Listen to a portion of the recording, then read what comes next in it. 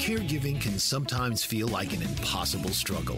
Caregivers may be torn between taking care of loved ones and trying to maintain balance in life. The good news is that it doesn't have to be that way. The Caring Generation with host Pamela D. Wilson is here to focus on the conversation of caring. You're not alone. In fact, you're in exactly the right place to share stories and learn tips and resources to help you and your loved ones. So now, please welcome the host of The Caring Generation, Pamela D. Wilson.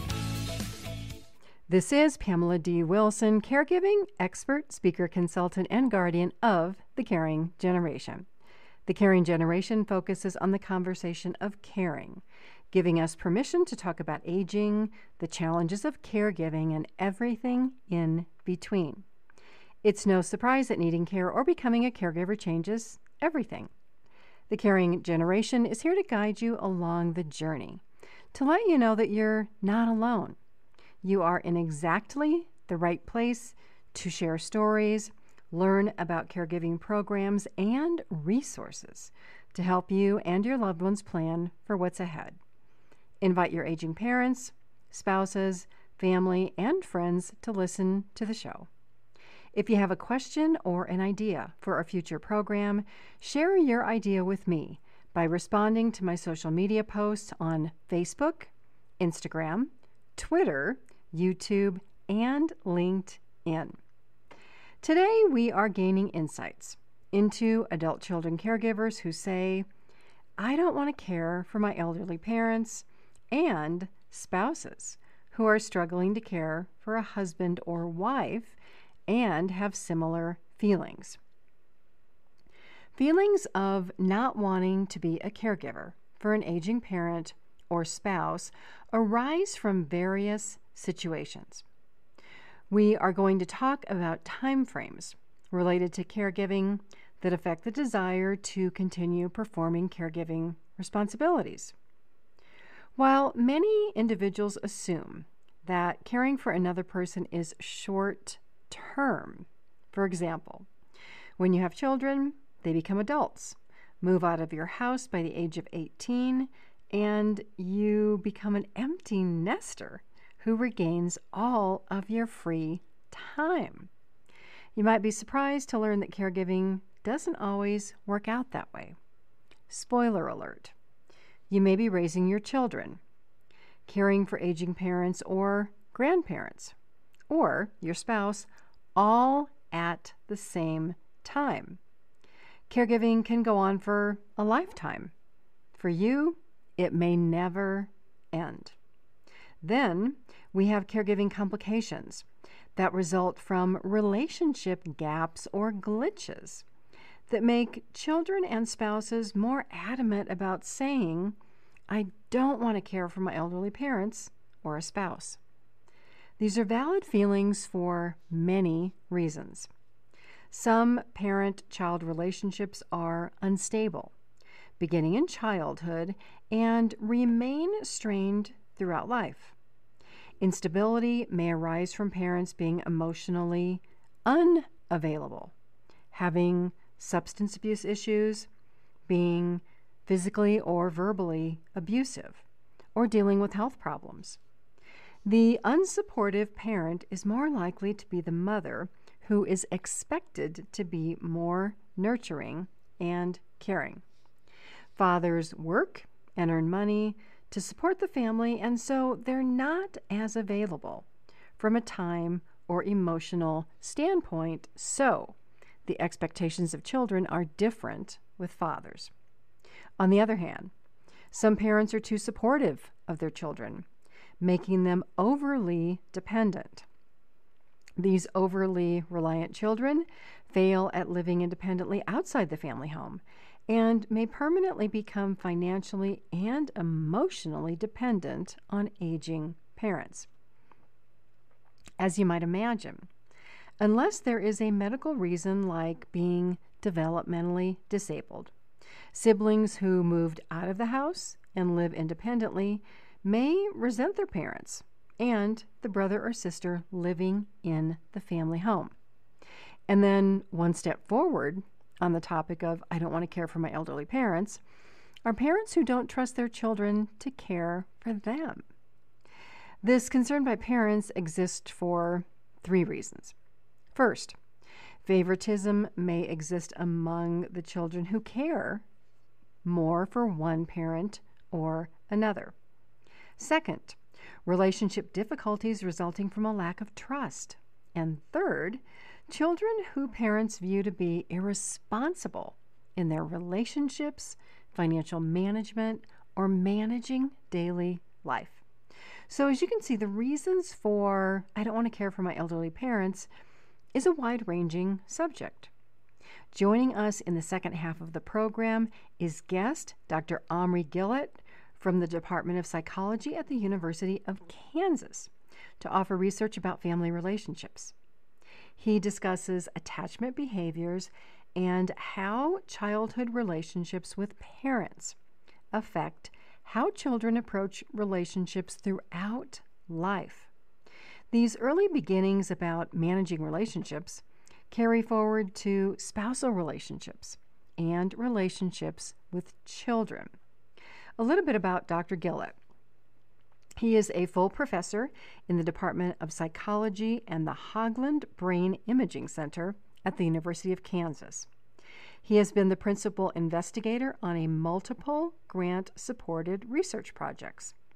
He has two books and authored numerous articles and book chapters on close relationships, attachment processes, social networks, AI, which is artificial intelligence, and the underlying mechanisms of social interactions. His papers are published in prestigious outlets such as the Journal of Personality and Social Psychology, Personality and Social Psychology Bulletin, and Computers and Human Behavior. I found him through a publication. It's called the Wiley Blackwell Handbook of Couples and Family Relationships. Found him in chapter 14 called Attachment and Caregiving. I'll post a link to the book and the chapter about attachment and caregiving in the show transcript. You might find it fascinating. Before coming to the University of Kansas, where he presently teaches, Professor Gillath taught and completed a postdoctoral fellowship at the University of California, Davis. In addition, he holds a bachelor's in psychology from Haifa University, Israel, and a PhD in philosophy from Bar Ilan University, Israel. Let's return to I don't want to care for my elderly parents by talking about helping. Before children identify with being called a caregiver, they start helping aging parents, which is an entry point to caregiving. Many children perform simple tasks like running an errand, picking up groceries, or prescriptions, or taking mom or dad shopping. These are everyday activities that we do for ourselves, so we don't see them as unusual or as an act of caregiving or being time consuming until the time involved becomes non routine. If you live in the same town as your parents, maybe you visit every Saturday or Sunday or a couple of times a month. Or maybe you call and talk to your parents once a week if you live afar. These small actions to keep in touch are your routine. But if one of your parents has health issues, the other healthy parent usually takes care of them. Or if a parent lives alone, they take care of themselves until they can't. So, until something significant happens, and it will, adult children are not usually involved. Then one day, there's a phone call from mom or dad who expresses concern about health issues or what it takes to care for your sick parent. Or the phone call about your parent who fell and is now at the hospital emergency room. Before COVID, being involved with the healthcare system to help or advocate for aging parents was difficult. Today, it's more complicated due to staffing shortages and COVID related issues. You may find yourself in a position of choosing a nursing home for rehab or working with home health, who provides physical and occupational therapy at home, or having to hire a privately paid in home caregiver. So, let me give you some statistics that may surprise you about nursing homes. also called rehab centers, skilled nursing homes, and long term care facilities. And I want to use this as an example of the challenges that COVID present day to day, but also challenges that exist on an ongoing basis that you may run into. States establish minimum standards for nursing care staffing levels, staff to resident ratios, which means one staff to 10 residents, for example, or what's called HPRD, hours per day of resident care. The state of Washington is one of several states that has established minimum standards for nursing homes. There's a long list of states who have not, and you may live in one of them. So it's important to understand this because if your parent is not getting the care that he or she needs in a nursing home, these standards or lack thereof could be part of the problem. And so the reason that you're seeing bad care could be a state issue that you could advocate for. If you want to learn more about the state of Washington's standards, check out the link to this information in this week's podcast transcript. If you're on one of my podcast apps or if you're on my website, search for episode 123. The information is going to be somewhere in the first segment. So at this point, you may find yourself helping or managing health care for a parent or a spouse. And a doctor or a nurse or someone else may call you a caregiver. You're thinking, wow, what's that? if your parents' health issues are minor, you may begin to have ongoing involvement, and so you are a caregiver. But at first, it may not be anything that requires a lot of your time. When a parent needs daily or weekly assistance, the time involvement by the caregiver grows to average 20, 30 more hours a week. If you thought you were busy before, it's a whole different world when parents or a spouse become dependent on the caregiver for ongoing needs. This is the tipping point where discussing plans about caring for aging parents should happen, but they usually don't because families don't know to have these discussions. So instead, the caregiver keeps doing what they have been doing and adds more into an already overbooked schedule. This continued doing creates the expectation with the person receiving care aging parents, a spouse, a grandparent, that the caregiver will continue to accept more work and more time responsibility. While on the inside, the caregiver is thinking, I don't like the way my life is going. I don't want to care for my elderly parents or a spouse. Caregivers trade time and choose between priorities in the caregiver's life. For example, a career, marriage, having children, pursuing an education, versus the growing and more time consuming needs of an aging loved one. After the break, we will talk about a list of 10 reasons caregivers say, I don't want to care for my elderly parents or a spouse, so that everyone can better understand how caregiving goes from simple helping to feeling overwhelmed. This is Pamela D. Wilson on The Caring Generation. Pay it forward to help others who may be dealing with health, aging, caregiving, or family issues by sharing information about this show and my website, pameladwilson.com. Stay with me. I'll be right back.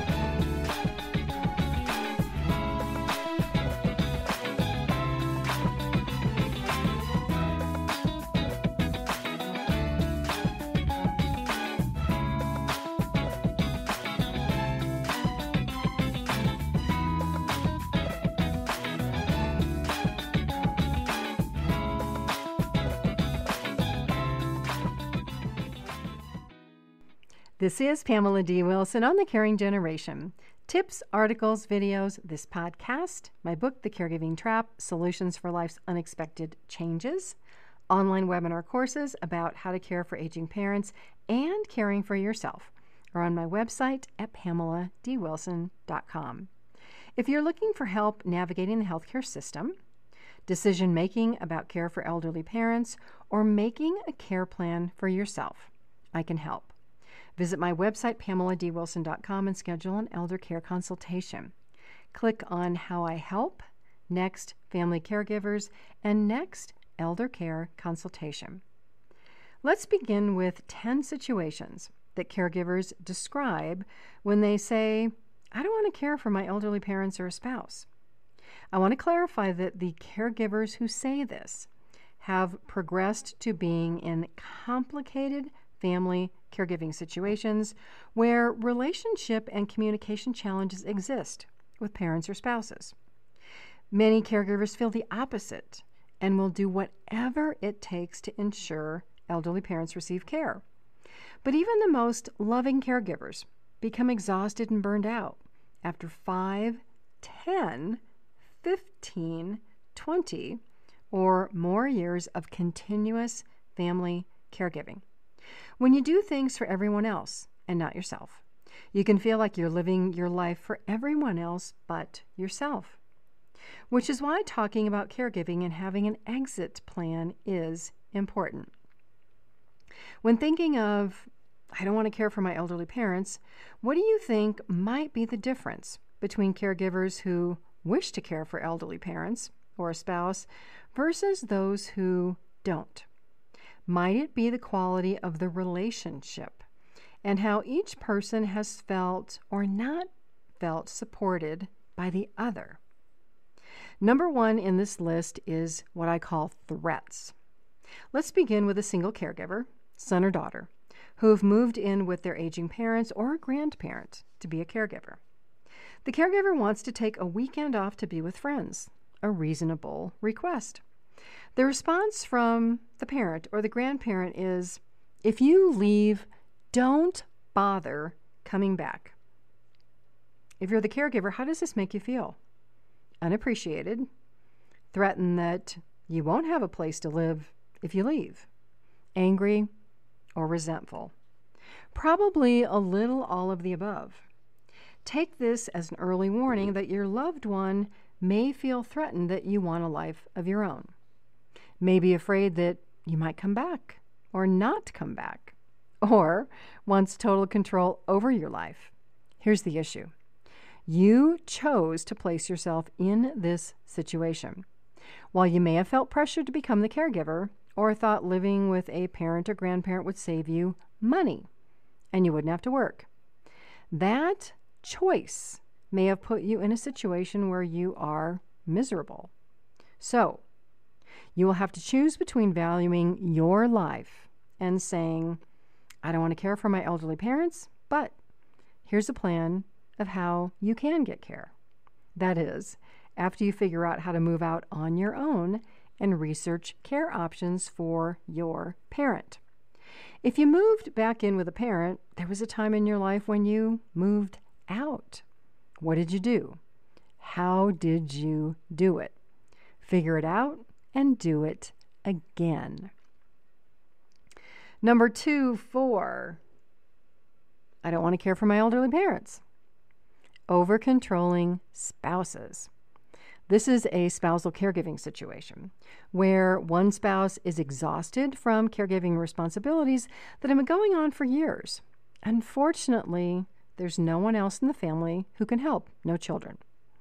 The caregiver spouse attempts to discuss options with the sick spouse who refuses.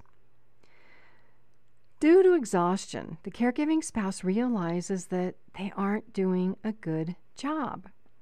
If you are the sick spouse, I hope you're listening. Do you realize what your refusals to talk about care are doing to your marriage? Maybe you don't care.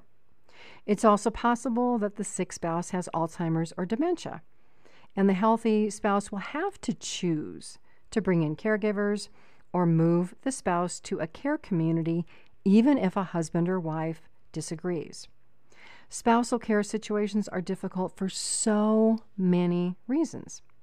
If a wife stayed home to raise children, all of the family money may be in bank accounts in the husband's name. I hope not, but this happens. This makes separating or getting a divorce more difficult for the wife. Then, if children are in the picture, they can favor one parent over the other. A daughter or a son might make a parent feel guilty about moving the sick parent out of the home, not realizing what it's like to be a full time caregiver. If this is you, children, and you judge your parents' situations, give your mom or dad a week off. First, send mom or dad on a week's vacation. Second, live at your parents' house and be the 24 7 caregiver for one week. Let's see how you feel then about a sick parent's refusal to cooperate with receiving care from someone other than family. Number three, manipulation, passive aggressive behavior, or other mental health issues, none that are treatable by medication. This is another reason caregivers say, I don't want to care for my elderly parents. This relates to aging parents, grandparents, and spouses who might be manipulative or contrary about their needs. For instance, one minute mom or dad is not hungry. The next, they say that they have been waiting for hours for a meal because you've been ignoring them. Now, you're feeling threatened because you're doing everything you can. And a parent seems to be telling lies or accusing you of not doing a good job. Then there is manipulation. That jar of peanut butter dad told you he wanted.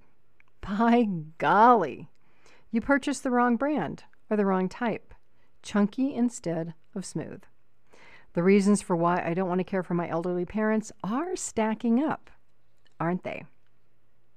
Number four, denial. Family members who see it as their job to question a parent with memory loss to try and help mom or dad remember. This is an area where education about dementia or Alzheimer's can be helpful. If mom or dad has advanced dementia or Alzheimer's, there will be more and more information that they cannot recall. Instead of becoming angry with a parent for not remembering, learn how to talk and interact with a loved one diagnosed with dementia. Accept that as much as you want them to be, mom or dad are no longer the parents who cared for you and comforted you. Avoid being in denial about the future. Be kind, compassionate, and empathetic. Teach your children, your parents' grandchildren, to act the same way. Young children can be negatively affected by not understanding the health issues of grandparents related to memory loss. They may think that grandma or grandpa are crazy, mean, or angry all the time. They may watch you interact with your parents and think that their grandparents don't treat you well. All the time, the reason for the behaviors is the disease.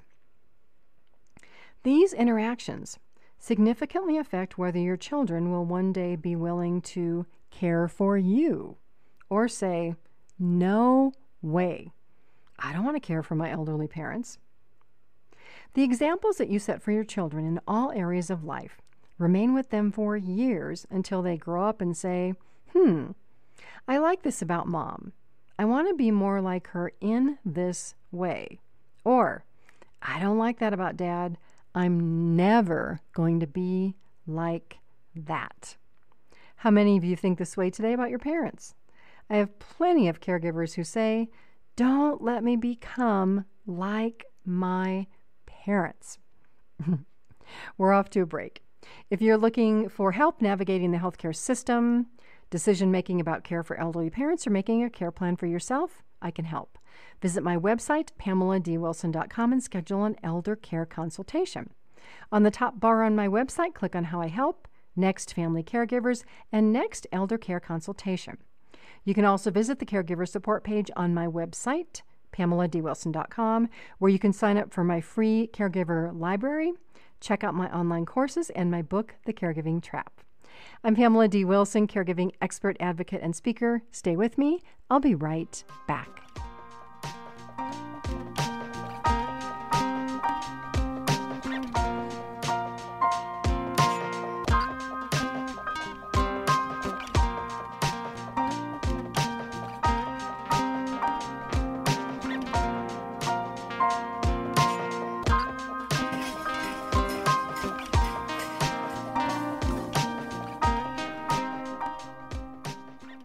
This is Pamela D. Wilson, caregiving expert, author, and speaker on the caring generation.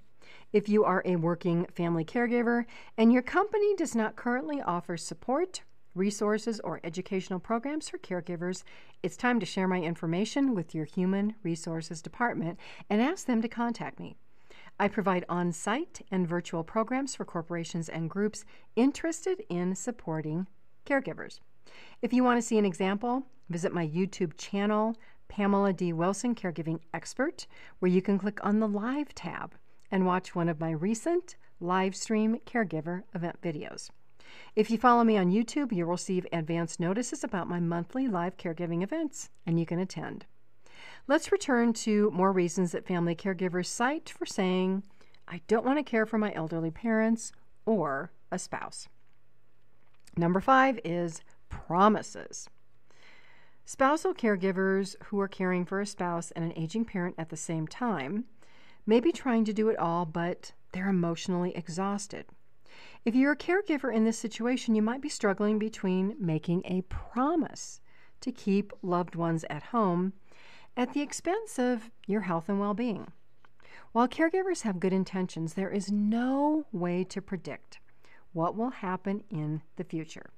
My advice if you're having a care conversation with a spouse or a parent and they say, Promise me you will keep me at home, or Don't put me in a nursing home, or I don't want to live at that place, stop for a moment. Instead of promising, ask the question What do you want for your care, and what money exists to pay for care? Now, if it's not a good time to have this discussion, then you can say, This is an important discussion that we should schedule a time to have. Think about what you want for your care.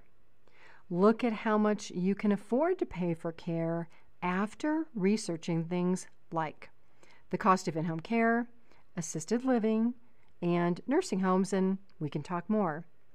Put the work on your parent to investigate care costs if possible. The experience of learning about care costs can be eye opening. Too many caregivers burn the candle at both ends and end up having more health issues than the people for whom they care. Don't put yourself in that position by making promises that you may not be able to keep. Or, if you are already there, it may be time to consider other options for care. The number six reason caregivers say, I don't want to care for my elderly parents, is apathy. Because of a desire to be helpful, caregivers can do too much for a parent, making a parent overly dependent on the caregiver. When you make a parent dependent on you, they do less and less for themselves. Also, don't make things easier if having your parent work on something is good. For example, if your parent sits all day and has difficulty walking around, don't rush out to buy one of those comfortable recliner lift chairs because you think it will help your parents get up out of a chair. Instead, take mom or dad to the doctor and get an order for physical therapy exercises. Don't create more problems for yourself or a parent. The more physically inactive a person becomes, the more trouble they have participating in any type of physical activity, like something as simple as walking a block, walking two blocks, walking a mile. Here's a simple example of how this happens. I go to the gym almost every day of the week to exercise. I love it. The gym is one of my many happy places. But let's say there's a day where I get off track for one reason or another bad weather, maybe I'm working late, I forgot to pack my gym socks, so I don't make it to the gym. The next day I might think, well, I'll take another day off. Then one day becomes two or three. All of a sudden, it's been three days since I've been to the gym. The first day back to the gym is the hardest, mentally and physically, because I have to get back into a routine, and my body knows it. So, the best thing for everyone is to establish and maintain healthy routines. Don't let your body get physically weak. That's a recipe for falls and broken bones and nursing home placement if you are an older adult. Keep your mind sharp. Read, play games or puzzles, engage in a hobby, socialize, or learn a new skill. This is where apathy and not caring about anything kicks in if you don't. You don't take a shower and get dressed one day. Suddenly it's noon and you're still in your pajamas. You think, ah, why get dressed? No one's coming to visit. Not getting dressed becomes a habit day after day. Find a reason to shower, get dressed, put your makeup on, shave, and get out of the house, even if it's only to walk around the block. Start caring more about your appearance and your health. Work with instead of against your caregiver on the things that can make a positive difference in your life. If you're a caregiver, work at making progress on things that can make your life happier and more pleasant. Caregivers who do everything to care for loved ones also become apathetic, although they don't see it that way. For example, caregivers don't take showers, they miss meals and fail to exercise. Why is it okay for caregivers not to do things they tell their parents or spouses to do? Well, it's not. Talking about the importance of self care is an exit plan for caregivers. For example, mom or dads, it's essential for you to exercise every day and eat good meals.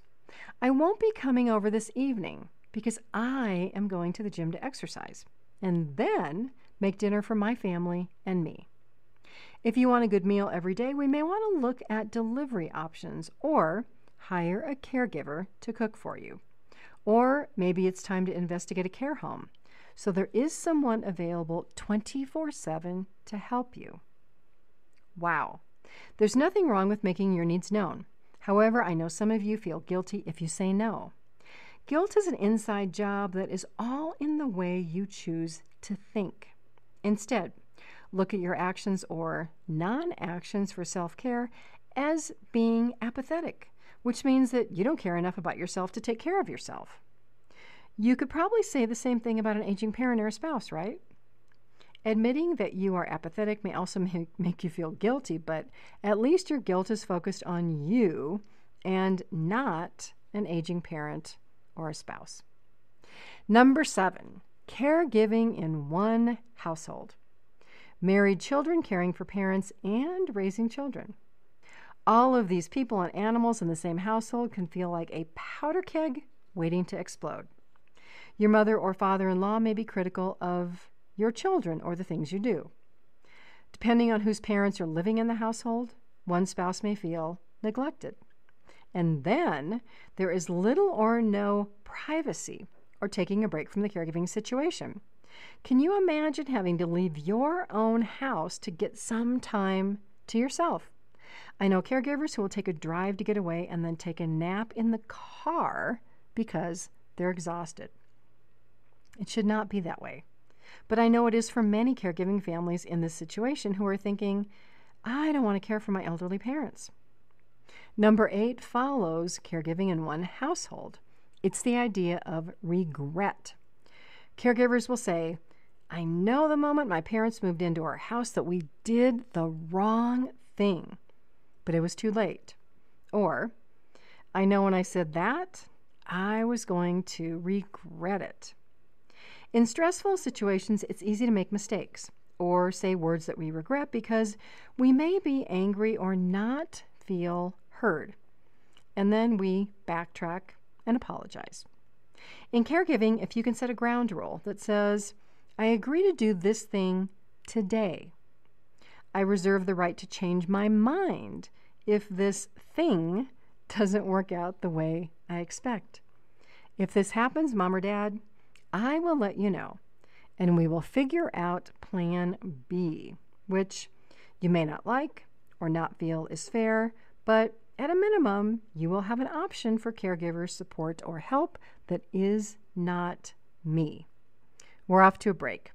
Up next, Dr. Omri Gillath talks about attachment theory. We form relationships with our parents when young. Learn how these relationships can affect all other relationships in our lives. After the interview with Dr. Gillath, we will wrap up with the number 9 and 10 challenges the caregivers tell me they face when caring for elderly parents and suggestions for what you can do. Thank you for following and communicating with me on social media Facebook, Twitter, Instagram, LinkedIn, and YouTube, where I have hundreds of videos responding to caregivers who ask questions and provide thoughts for topics for this podcast. Videos for my live stream caregiver events and articles on my website. I'm Pamela D. Wilson on The Caring Generation. Stay with me, I'll be right back.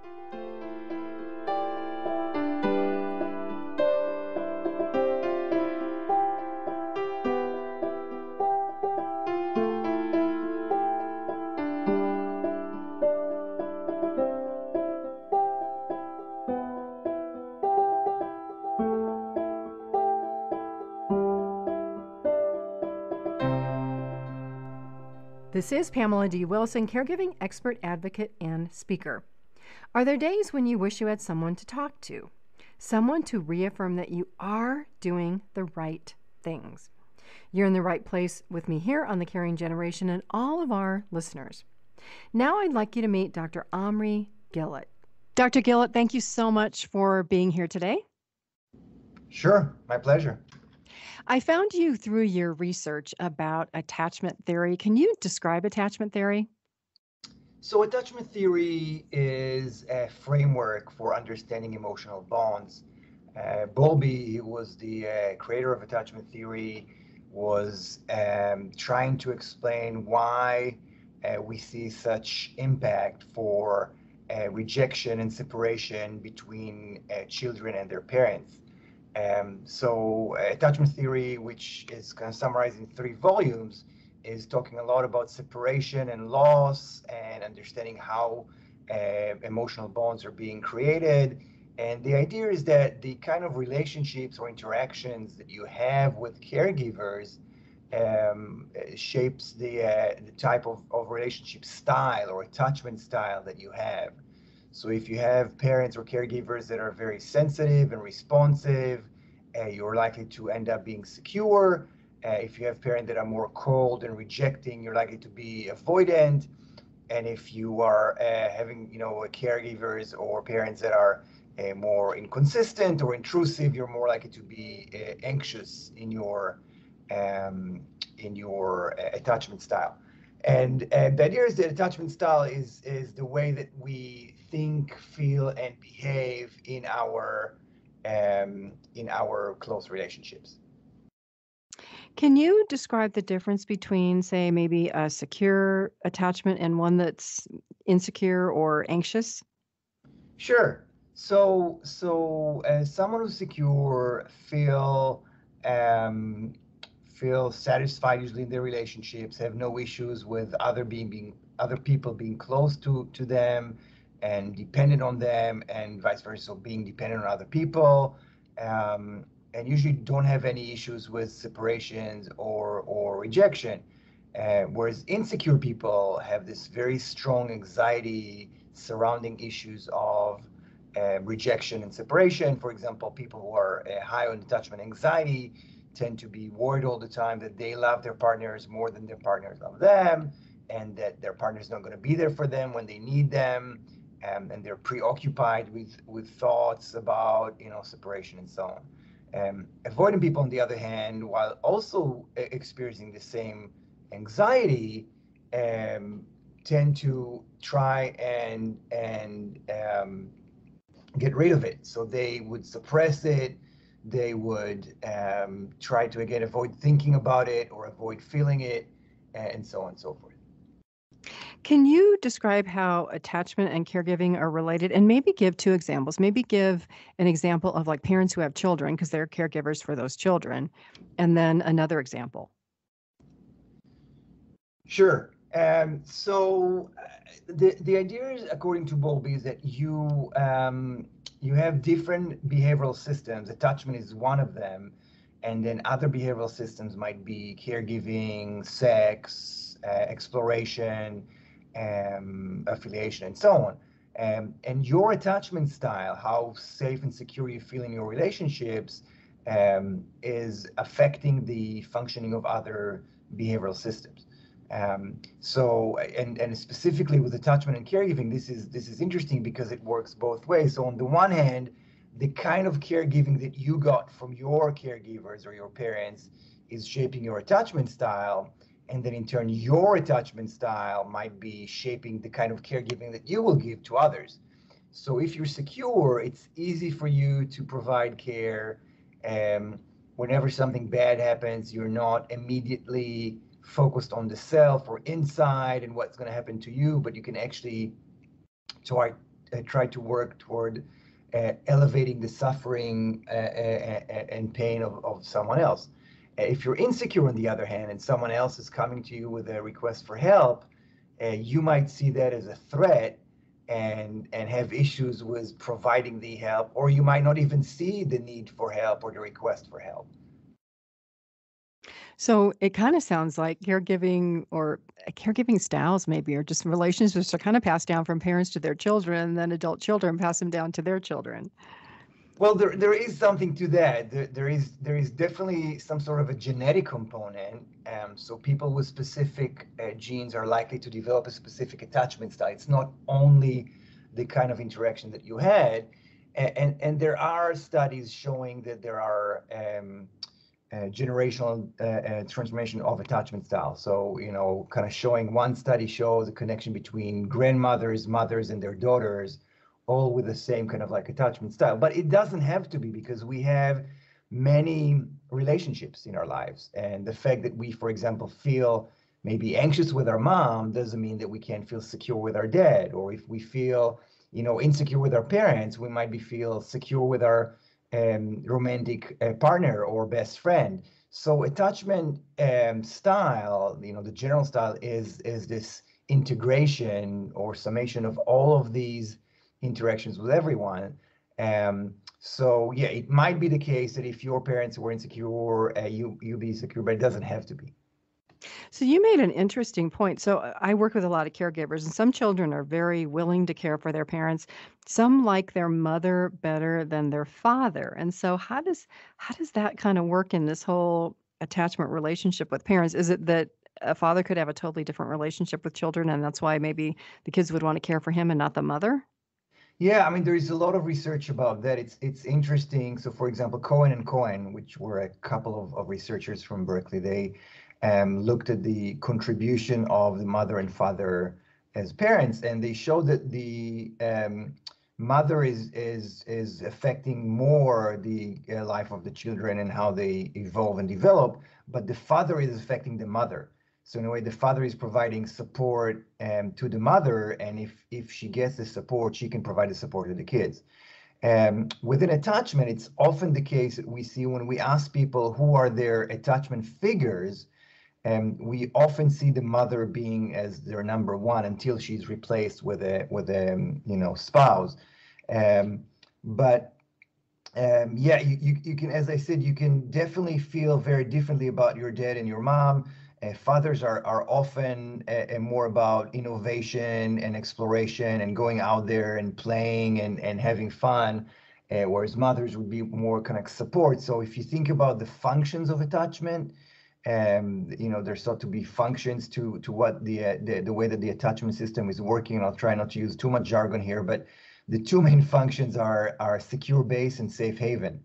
Um, so secure base is a base from which you can go out and explore. This is Bowlby's use of, of, of military terms. So the idea is that you have a base, you know that it's safe, and then you can go out and see what, what else is out there. This is kind of like what dads might be doing Whereas safe haven is the place where you come you come back to when you're feeling down. So that's more like what the mother might be doing when you need to deal with you know emotion regulation and soothe yourself or or get some some help from others with that. That's what you know the traditional kind of mother you know a, a role might be. That's a great description because my mom was more like you say, more of the person the practical person, my dad would take me fishing and, you know, he would take me out of the house to do things. So I, I totally get what you're saying. Um, how do more secure individuals approach caregiving with with parents or grandparents or um, other people? Right, and we have some work on that, and usually when when people are secure, um, they they actually approach it. So they they go toward the, the the problem and they focus on the problem and they try to find solutions and to provide you know the support and the care, um, and they usually listen very well and be sensitive to the needs, and they can balance on the one hand the autonomy that the other person needs right to do whatever they want and however they want it with the help they can provide. So whether that this is as a parent when you have kids or whether this is when you you know your your parents get old and you need to take care of them uh, it, it's always a fine balance between leaving them room to do what they want but still providing the help when when when it's needed. So uh, it, it's a challenge that that secure people are better equipped of of taking care because they're not overwhelmed by their own anxieties and and fears. That's a great point. So I have I have caregiving families where one child usually becomes the caregiver and sometimes the other siblings will say, you know, I can't do that or I don't want to do that. So is that kind of the avoidant part of this dynamic? Yes, and and you got to remember people bring with them a lot of baggage. So so um, you know we we often hear stories. You know, my my dad just passed away recently, and and we sat around in the shiva and and heard stories about his childhood and his dad's, my grandparent. And and you learn so many things, and which makes sense suddenly why we behave in the way that we are. Um, so definitely, you know, saying I can't deal with that or not dealing with it or just, you know, going far away um, might be your attempt to avoid that and, and to find a way to uh, cope with these um, emotional burdens. But sometimes it's just how life, you know, hits you. So so it's not necessarily the case that you are an avoidant person if, if this is what you're doing.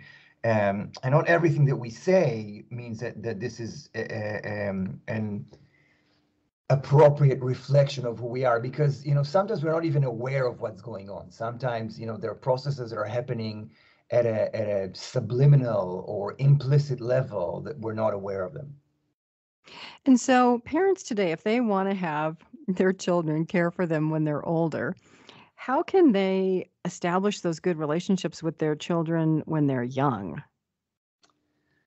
yeah, that's a great question. Um, as someone who had, you know, two kids of my own, uh, I often think about it, and and I think again, this is about the balance and about respect and and open lines of communication and and trying to be there for them when they need it, which you know, again, can be hard with parents because you also need to put boundaries and you you need to, you know, set the rules because you're educating them. You're not just being them for them when they need it, but you say, you know, you can't play on your phone 24 7, or you can't, you know, have more screen time, or you need to, you know, focus on your homework and stuff like that. So you need to find a way um, that they would grow up um, respecting you in the same way that you respect them and and and be open with you and and have this emotional bond and let's look at the opposite. Let's say that maybe a parent didn't have this form these good attachments with the children when they're young and maybe it was the you know the parents had alcohol abuse or something else and now these kids are older and their parents are older and these kids are saying, "Ah, my mom wants me to take care of her." How do they uh, can how do you work through that or can you?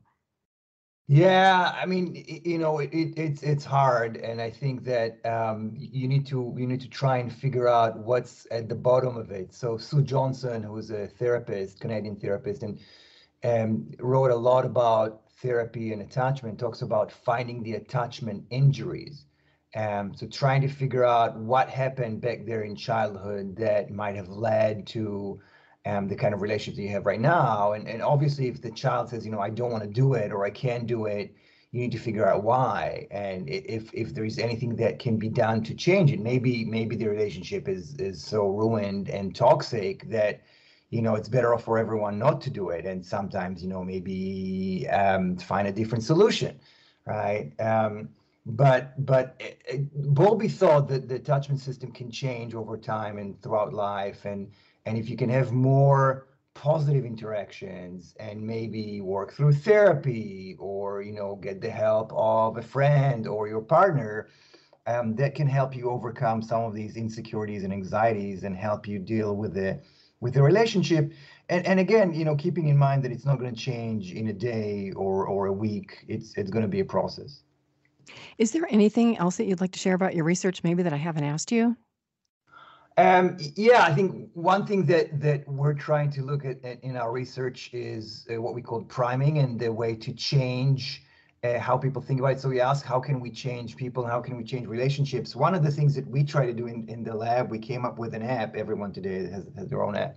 So, you know, it's an app that basically allows you to work on your attachment style. And it's something that we're, you know, just now starting to do with students and a little bit with the general public. But I, am hopeful that we can help people um, change their attachment style for the better and become more secure. And through that, you know, um, make the world in a way a better place. So so there is hope, and and even if you had you know bad relationships, um, it's not it's not the you know you're not doomed in a way.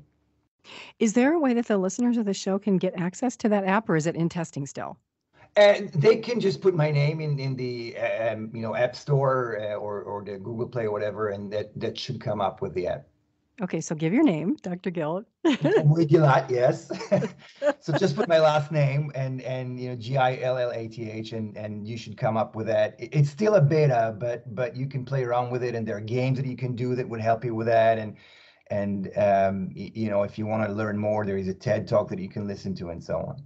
Wonderful. I thank you so much for your time for this interview. Absolutely, my pleasure. I will post links to Dr. Gillath's information and the app in the podcast link for this show. It's episode number 123.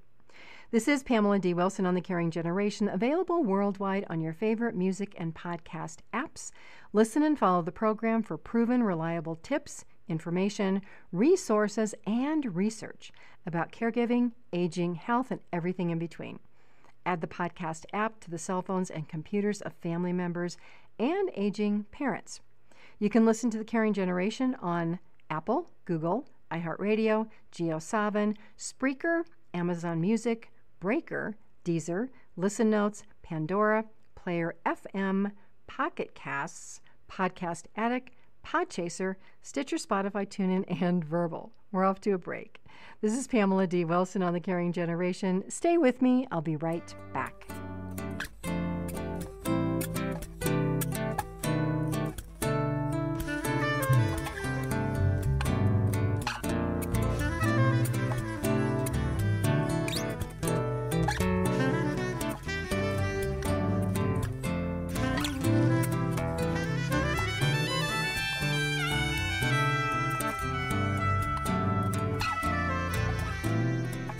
This is Pamela D. Wilson on The Caring Generation.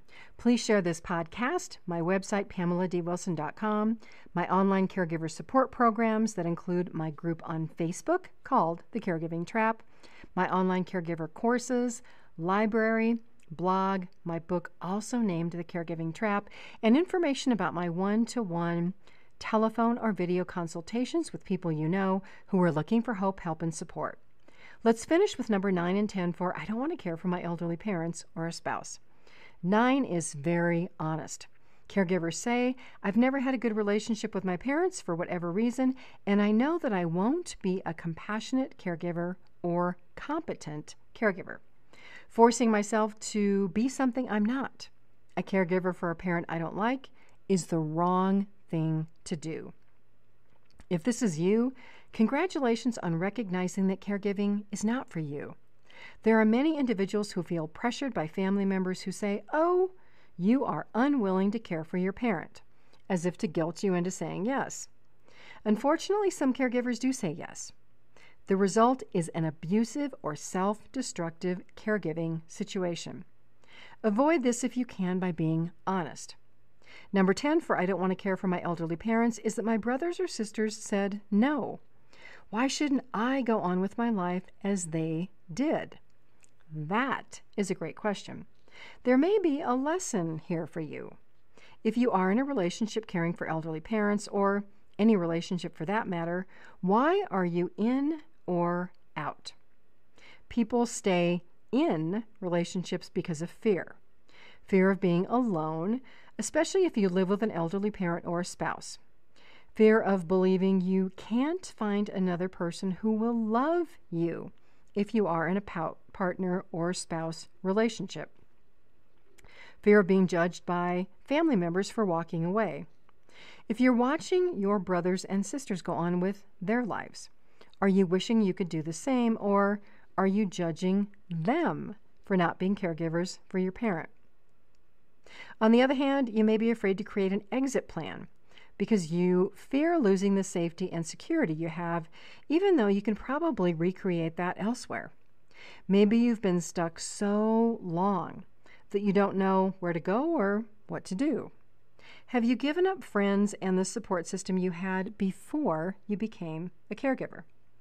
This may sound crazy-er, but you may stay in a caregiving relationship because you're used to chaos, drama, toxicity, and feeling miserable. This has become your normal. Until you begin to think that happiness is out there and you can have it, you may never leave. In another podcast, I talk about caretaking versus caregiving. If you are stuck in a caregiving relationship and don't know the difference, you may be a caretaker. Another reason you stay is that this is just what families do. Do you know couples who stay together for their children's sake and then divorce after the children are grown up and out of the house? And maybe you stay because you've simply given up hope. I'm not here to judge or to tell you what to do. The purpose of this show is to shed light on the situations that trap caregivers and how difficult it can be to change long standing patterns, routines, and behaviors. Change for ourselves and others is not easy. Even still, I'm confident that you can find the right support to make the decisions you need to make. Be proud of the fact that you found your way here. Many people find hope and support right before they're about to give up. Some angel shows up out of the blue to share a little bit of kindness and a little bit of hope. For everyone here, I hope that you find the answers you seek, someone to help you along the path, to let you know that you're not alone. You're in the right place here with me and listeners of the Caring Generation. Follow me on my Facebook, Twitter, LinkedIn, and YouTube pages so that you can join me each month for my live stream caregiver events. If you are an aging adult or a caregiver not sure what to do or how to plan for care or how to get your time and your life back, Visit my website, pameladwilson.com, where you'll find resources for caregivers. Check out my caregiving library, my Caring for Aging Parents blog, listen to all of the Caring Generation podcasts, read the show transcripts that include links to research by program guests, and check out my online caregiver courses in webinar format. The courses are like binge watching your favorite television show. You can also watch hundreds of videos on my Facebook and YouTube channels. There's something for everyone here on the Caring Generation and my website, pameladwilson.com. This is Pamela D. Wilson, caregiving expert, advocate, and speaker. I look forward to being with you again soon. God bless you all. Love to everyone. Sleep well tonight. Have a fabulous day tomorrow and a great week until we are here together again. Tune in each week for The Caring Generation with host Pamela D. Wilson. Come join the conversation and see how Pamela can provide solutions and peace of mind for everyone. Here on Pamela D. Wilson's The Caring Generation.